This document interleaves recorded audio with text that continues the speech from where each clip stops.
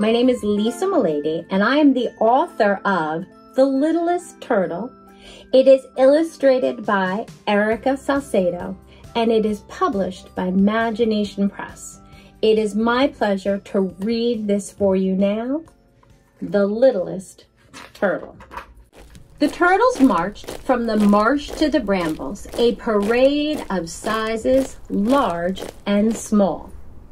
Big turtles braced at the bottom, smaller turtles climbed on top. Tiny turtles reached up high and devoured the freshest fruit. Big turtles below fed on the fallen berries. Until one day, Littlest Turtle overheard the big turtles. These berries taste sour. Yeah. They are just about rotten. I want the good berries. Would it be so hard to share? Littlest Turtle had never thought such thoughts.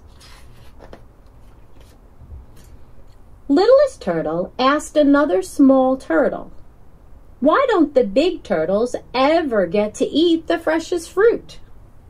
The other turtle scoffed, Ha, that's the way it's always been. The littlest turtle spoke to the feeling in her heart. It isn't fair. There's no reason to change what works. Littlest turtle was not satisfied. That night, littlest turtle tossed and turned, thinking about how things should be. Big or small, a turtle was a turtle. What works for one should work for all. The freshest berries should be enjoyed by every turtle. Littlest turtle fell asleep, feeling courageous.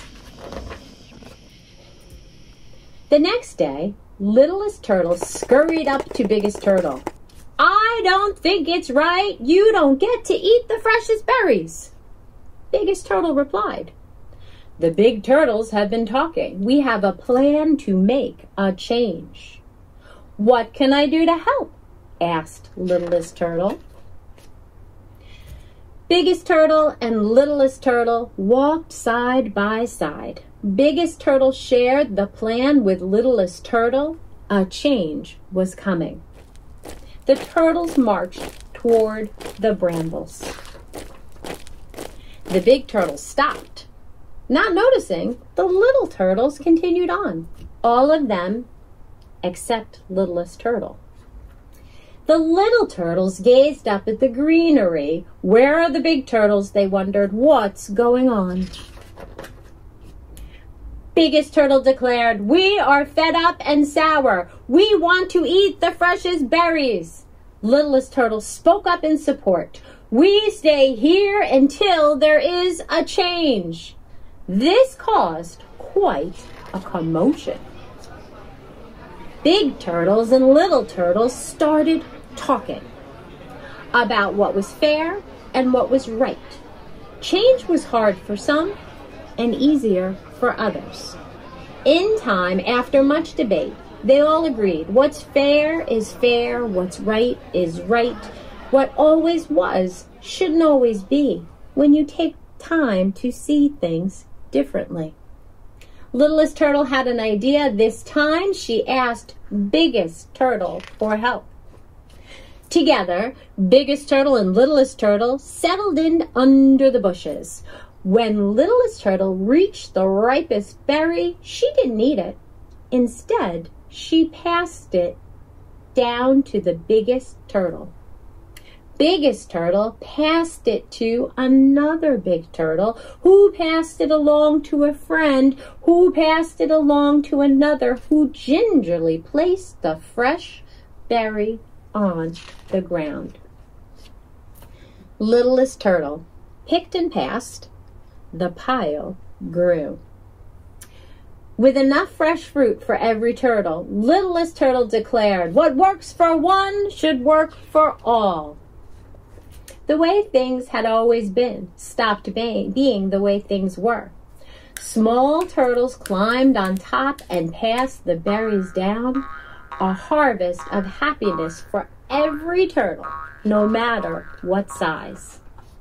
Even the smallest can help make the biggest change.